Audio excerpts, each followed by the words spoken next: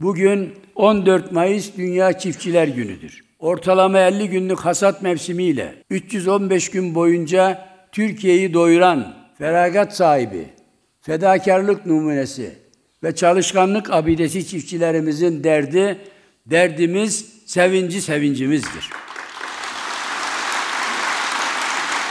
Çiftçi demek helal kazanç, alın teri ve emek demektir. Çiftçi demek üreten ve hayatın zorluklarına direnen adanmış yürekler demektir. Sabahın erken saatlerinden akşamın geç saatlerine kadar ekmeğinin peşinde olan çiftçi kardeşlerimizin yüzünün gülmesi, ceplerine para girmesi, muhannete muhtaç düşmemeleri hedefimizdir. Toprağında çift süren, umutla biçer döverinin tarlasına gelmesini bekleyen, sabırla çaresizliklere direnen çiftçilerimize ne versek, ne yapsak yetersizdir. Tarımsal üretimdeki girdi fiyatlarının yüksekliğine bağlı sorunların gün geçtikçe büyümesi köylülerimizin, çiftçilerimizin başlıca şikayetidir. Bir litre mazotun satış fiyatının yaklaşık yüzde 38'inin vergilerden oluştuğunu göz önüne alındığında tarımsal üretimin sürdürülmesinin ve sorunun köklü çözümünün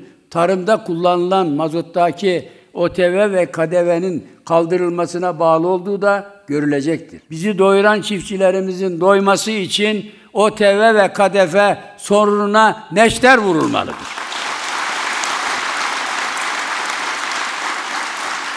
Tarımsal üretimin bir diğer önemli girdisi de kimyasal gübredir. Gübre ham maddesinin yüzde doksandan fazlası ithal edilmektedir. Kimyasal gübre fiyatındaki artışın temel nedenleri arasındaki döviz kurundaki oynaklıklar ve dünya piyasalarına tesir eden gerilimler yer almaktadır. Dün açıklanan kamuda tasarruf ve verimlilik paketiyle eş zamanlı olarak Türkiye ekonomisinde düzelme yaşandıkça, enflasyon canavarının boğazı sıkıldıkça ve döviz piyasalarında hedeflenen istikrar sağlandıkça bundan çiftçilerimiz de kazançlı çıkacak. Onlar da rahata ve feraha ulaşacaktır. 2024 yılı bütçesinde tarım kesimine verilecek destek yüzde 44.4 arttırılmış ve 91.5 milyar liraya çıkarılmıştır. Bu önemli bir gelişmedir. Buna rağmen çiftçilerimize verilen gübre ve mazot desteğinin bütçe imkanları dahilinde yükseltilmesi dileğimizdir. Çünkü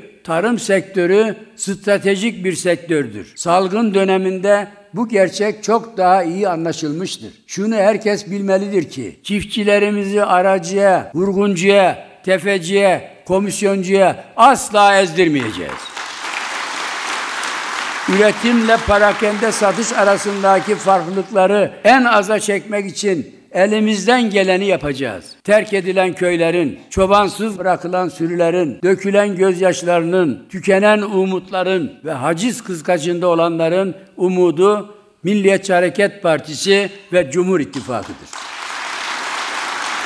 Her şart altında çiftçi kardeşlerimizin arkasında olacağımızı ve onlara elimizi uzatacağımızı ifade ediyor. Ülkemizin her yöresinde binbir emekli hayat mücadelesi veren çiftçilerimizin Çiftçiler Günü'nü kutluyor. En derin sevgi ve selamlarımı gönderiyorum.